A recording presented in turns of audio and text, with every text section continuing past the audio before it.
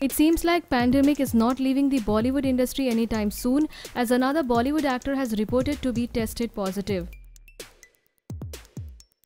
Well, another popular Bollywood actor has found himself chained by the pandemic. This Bollywood actor is none other than Gully Boy famed Siddhant Chaturvedi. Yes, as per the recent report, Siddhant Chaturvedi has been tested positive for COVID 19.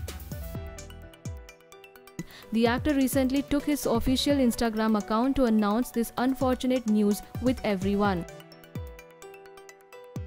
Siddhant shared on his Instagram story that he has tested positive recently and has already quarantined himself.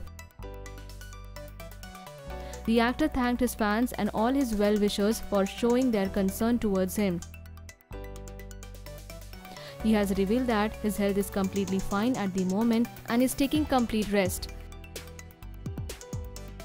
He has been advised by the doctors to stay under home quarantine. Siddhant is currently under medication too. The Phone Bhoot actor has confirmed that he has taken all the precautions. He has been following all the protocols as advised by the doctors. Not only Siddhant, many other popular Bollywood celebs have tested positive on this week.